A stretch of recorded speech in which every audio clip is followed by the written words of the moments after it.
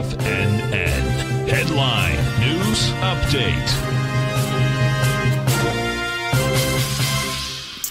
Welcome, folks. We had the Dow Industrials finished down 118. Nasdaq was off 20. S&P's down 13. This is a fast, slow raise the blade down, folks. That's what it is. What I mean by a fast slow is this. You drift lower, and then boom, next leg comes down. You drift lower, boom, next leg comes down. That's where we're in right now.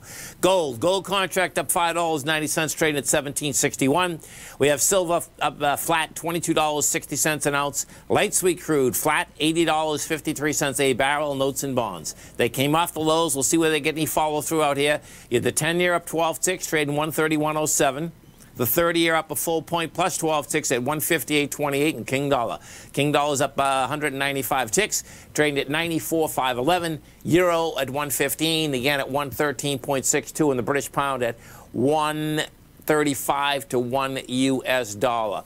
Let's go over and take a look at the NQs first, because you're going to see there's a lot of action uh, in here uh, coming into the close.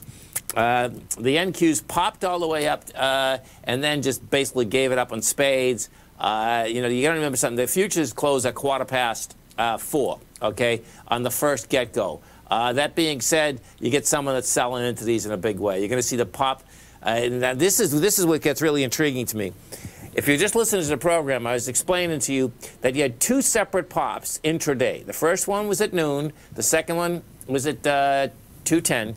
Neither one of them could take out a swing point, and someone is selling on the other side of this. Because look at this when we came into the close, you had buying coming into the close, but the selling overwhelmed it. That's how this baby shakes out. Now, what you have, okay, if you're a day trader, which is really cool, is this. You got an ABC structure on the way down intraday.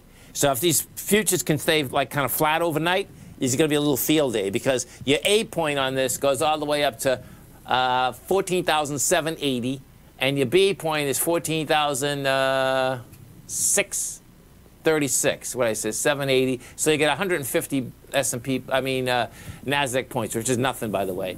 But that gets you uh, 720, 620, 580. Yeah. So 14,580. So I'd love to see, like to see a shoot up all night long, When you get a price projection lower. Oh yeah.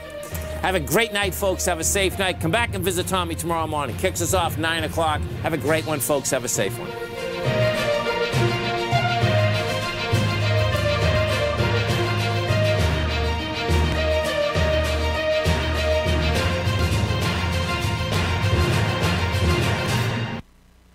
Sharpening